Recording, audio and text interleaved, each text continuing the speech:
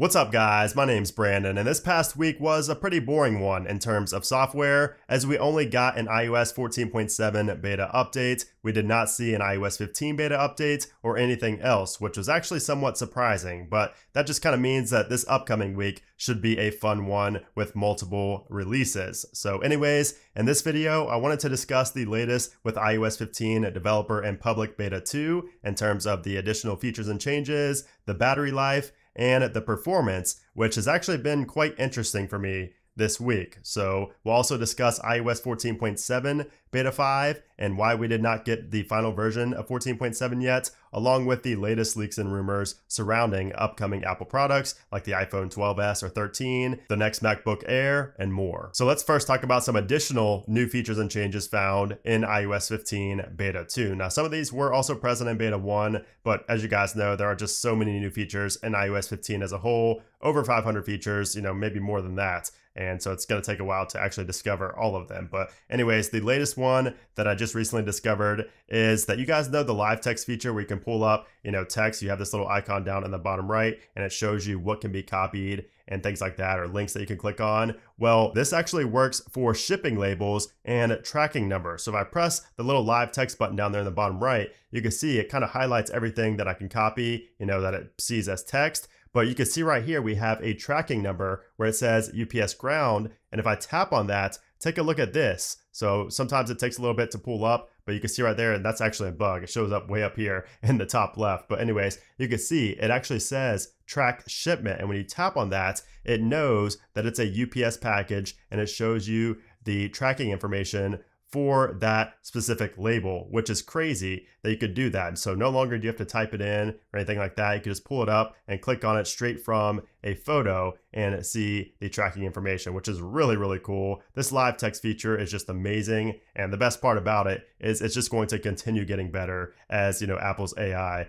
gets better. And speaking of the Photos application, if you have a photo with a face in it and you swipe up, you will see that you actually get the little face icon down in the bottom left-hand corner. So your device will automatically, you know, detect that face if you have it saved, you know, as a person in your albums. And if you tap on that, it's actually going to take you to that person. So I'm gonna go and swipe up. Let me try that again. Tap on it. You can see there it shows show album manage tagged photos, feature less, or untag. So you have all of that right there. So if you want to see the album with all that person, you can do that. But I just like how it shows that little circle down there in the bottom left when you swipe up. It's really neat. Now we can also toggle Siri and Siri shortcuts for background app refresh. So we can actually turn that off if we want to now. So if we go into our settings and then to general, background app refresh and go down to the S's, you can see we have shortcuts and Siri right there. Both of those are able to be toggled off for background app refresh if you want to. I would personally recommend having those on, but you can at least now have the option to turn those off if you want to. And speaking of small changes, you can see when you search for the clock application inside of Spotlight Search, it actually shows the correct time now on the app icon. So you can see there it shows 1239, whereas on iOS 14, you can see there it does not show the correct time. It shows like 1009 or something like that. So it was not accurate before, but now it actually shows the real time in Spotlight Search here in iOS 15. Now also inside of the Maps application, you can see here, I'm doing a little route to Chick-fil-A as usual. And this is a bug I've noticed by the way in iOS 15. It really does not populate the map sometimes. No matter how good your connection is, it will do something like that up top. But one thing I noticed is you can see this right here. So actually ended. It was at the very end right there. So let me go ahead and pause. You can see that now in iOS 15, it asks you how your route was. So after you finish going somewhere on a route, you can see it asks you, how was your route to Chick-fil-A? And you can, you know, thumbs that up or thumbs that down. And I'm assuming that will just help Apple determine, you know, if the routes are accurate, if they're the fastest and things like that, and maybe learn from, you know, the patterns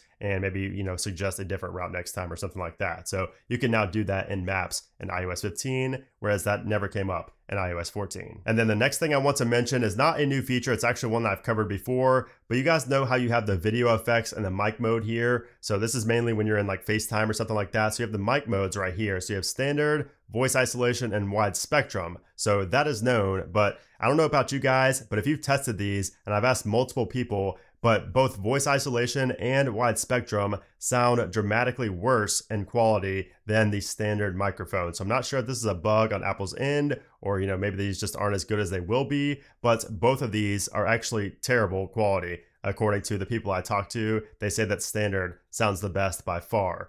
So that's just one interesting thing I've noticed. Know, I've talked about this before, but I've continuously asked and I've continuously played around with this to see if it's gotten better. But it seems like standard is still the way to go. If you are wondering about this, I would recommend keeping it on standard and you know just leaving it there because it seems to be the best for FaceTime video and audio calls. So while we have a lot of new features and changes here in iOS 15 Beta 2, we also have quite a few bugs that are still outstanding and some that have actually just gotten a lot worse with Beta 2. So Beta 1 of course was, you know, a typical Beta 1, we had a lot of issues and Beta 2 on the surface really fixed a lot of those issues, but, you know, over time, and I've noticed, you know, after two weeks of using beta 2, it's really not all that much better than beta 1, which I never thought I would say. And I'll tell you guys why. I mean, one of the biggest things for me is app specific notification sounds. So, especially for Snapchat, for ESPN, there's multiple applications I have with their own unique notification sound, and I just get the default notification sound for those applications every time. Even after a reboot, sometimes it still persists. So, that's one annoying issue I've been having. Also, I've had quite a few messages bugs. So, if I go in here, I did take a screenshot of a message bug right here. You can see I sent a video in this thread right here. This was a video and then it just disappeared and turned all white. And then also down here at the bottom, it shows that the focus mode message is showing up twice. So it's showing as duplicated there. It says notification silence with focus two different times. So I've just had quite a few bugs inside of the messages application. And that's been another thing I've noticed, you know, pretty much every single day. Also, a lot of people are still having the issue with music where you get the 15 second bug where you start playing music for 15 seconds, then it just stops and you pretty much, you know, can't listen to your music in Apple Music. And it's a known bug. I talked about this in my 14.7 video, but that is still persisting here in iOS 15 beta 2. I do think that's a server side issue with Apple Music since it is happening on Android as well, but it could be fixed in a software update. It's hard to tell at this point. Also, the Wi-Fi. I've been having really strange issues with Wi-Fi where my Wi-Fi will just completely stop working and I have to go on LTE, like even for Google. So sometimes I'll just go into Safari and be doing a Google search. Like I could just search for, you know, I don't know, just a random thing I just thought of, G.I. Joe.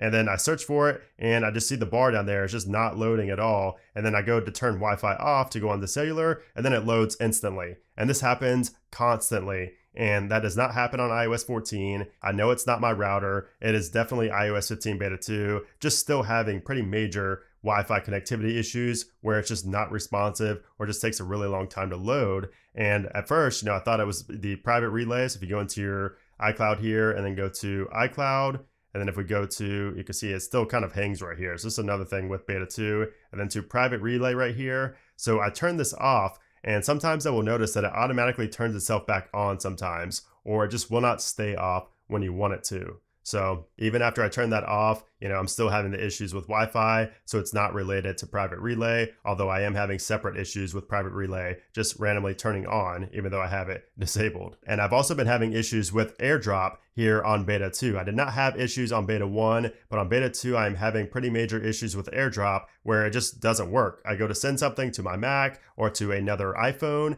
and I just can't. It just says sending, and it sits there and spins around and just never sends the video or the image. No matter how big or small the file is, it just does not send. I've tried going into airplane mode, turning AirDrop off and on, all of that, and nothing works. AirDrop is just very spotty here in iOS 15 beta 2. I'm also still having issues with apps crashing on beta 2, so I did not have as many apps crash in beta 1 as I've had on beta 2, like especially in Safari. Safari actually crashes a lot more than it did in beta 1, and I've noticed that when you close out of multiple tabs quickly, that's when it seems to crash. Let me see if I can try to replicate this here. So of course it doesn't work this time, but sometimes, you know, it will show that. So this is actually, I don't know if this is new or not. They automatically close tabs after you close out of all your tabs. I'm not sure if I got that prompt in iOS 14, but it does prompt you now after you close out of all your tabs. So just going to do, do not do automatically. And I know that setting's not new. I just didn't know if that pop-up was new right there. But yeah, Safari sometimes will crash when you close out of tabs quickly. Uh, I've had other applications just crash randomly. I've also had some really weird stutter issues. So like if I go right here, this is a screen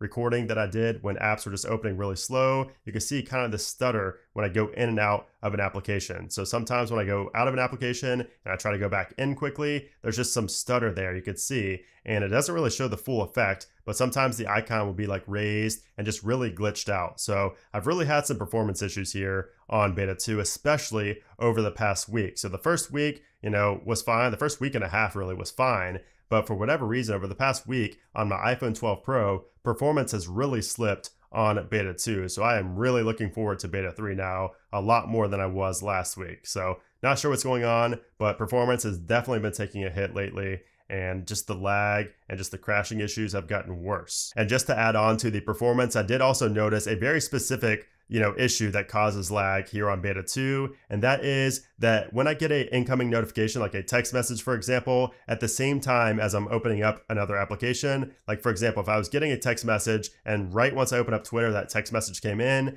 there will be like a 10 second lag on the application i'm opening up and then sometimes it also causes a respring so that's another issue i've faced and just really performance issues like i said a lot more rampant now than i remembered and within the first like week and a half of installing Beta 2. Now, as far as battery life goes, battery life feels about the same as it has ever since Beta 2 was released. I've really had no big difference. It is slightly better than Beta 1. I can definitely say that. It's definitely better than Beta 1, but it's still not great on my 12 Pro here. Battery life is at least decent on my iPad Pro, my M1 iPad Pro, but on the iPhone, iOS, it's just not great. I mean, I've been saying that for a while. It's better than beta 1, like I said, but after using iOS 14.7 for a little while, the battery life is so much better on 14.7. I mean, of course, it's a stable release. It's, it's still on a beta, but we're on 14.7 versus 15.0. So, of course, I understand that. But still, the battery life is just much more, you know, much better on iOS 14. And we definitely have a lot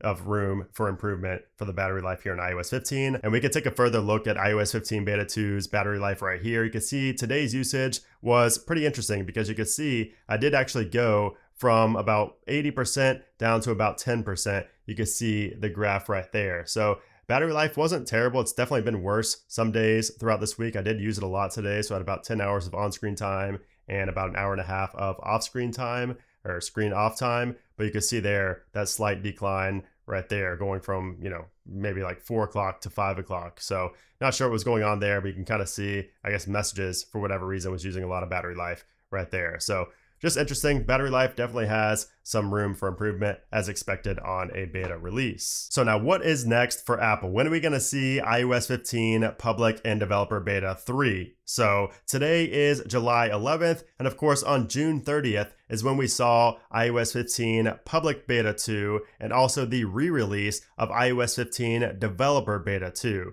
So that tells me that we are two weeks away from that is when we should see iOS 15 beta 3. So that puts us on the 14th if it's going to be exactly two weeks from when we got the second beta. So, of course, since we had that re release, I think that's why it kind of messed with the schedule because, of course, we got beta 2 for developers the week prior. So we thought that, you know, this previous week right here, maybe on the 7th, is when we would see iOS 15 beta 3, developer beta 3, and then the week after we'd see public beta, but that's not the case. So it seems like Apple is going to be releasing the developer and the public betas within the same week, and it's probably going to be this week. So the week of the 12th is when we should see iOS 15 public and developer betas. So I would expect at least a day you know, between the two, it's hard to say. I mean, sometimes Apple waits up to a week to release the public beta, but in this case, I would not expect it to be more than just like a couple of days, maybe just one day. So we should see it again. The 14th would be exactly two weeks, so that is a good bet right there. Tuesday or Wednesday, I think we could see iOS 15 developer beta 3, and then another day next week, we should see the public beta 3, or I guess this week we should see public beta 3 as well. Now, as for iOS 14.7, we did get beta 5 last week, which was kind of interesting because we did expect a public release or at least an RC build of iOS 14.7 because we've been in beta for so long. But I do see an RC coming this week. So, of course, I can see that coming really any day this week is when we could see an RC build of iOS 14.7. I think there is even the slight possibility of seeing the final release this week You know, we'll probably see that next week, but it is possible to get it this week as well. But nonetheless, I do expect to see iOS 14.7 released to the public within the next two weeks with a fix for that Wi Fi bug that I mentioned on Twitter, and then also just, you know, some added features in there, and of course, some big bug fixes as well. Now, aside from the software side of things, we did also have some Apple news come out over the past week that I wanted to briefly run through. So, first off, we do have some news surrounding the upcoming M2 chip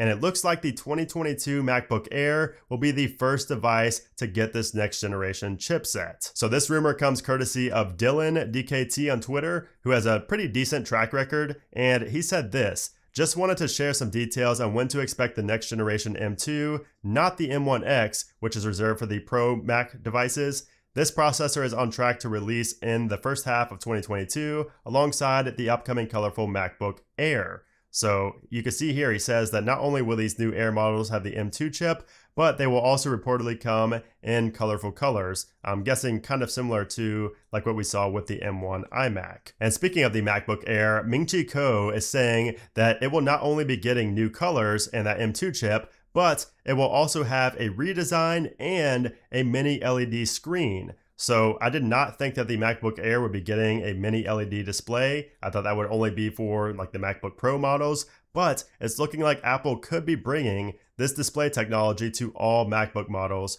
pretty soon. Now moving on to the 2022 iPhones, the Elec says that all models will be getting the long desired 120 hertz display. So of course later this year with the 2021 iPhone, which you know iPhone 12s, iPhone 13, whatever it's going to be called, we will be seeing the Pro models get this new display, but next year even the base model iPhone could be getting that 120 hertz display we've all been wanting for years now. And speaking of this year's iPhone, it seems more and more likely as time goes on that it will be called the iPhone 12s and not the iPhone 13. But not only will this 12S have the performance improvements like we get every year, especially with an S year, it's usually like the same design and performance improvements, but with the iPhone 12s, it's looking like it's going to have a much bigger camera array according to leaked cases. So this was posted on Weibo originally and then posted onto Twitter, but you can see just how much bigger the lenses are, which is pretty interesting. And this should mean, in theory, that we'll see a major new camera feature this year